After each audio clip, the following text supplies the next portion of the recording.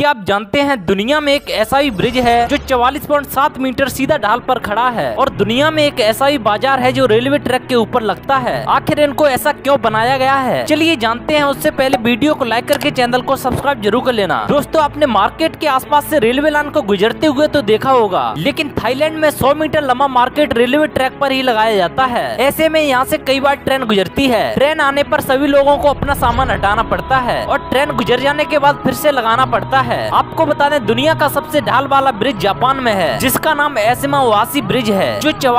सात मीटर ऊंचा है इसे ऐसा इसलिए बनाया गया है क्योंकि इसके नीचे से रोजाना बड़े बड़े जहाज निकलते हैं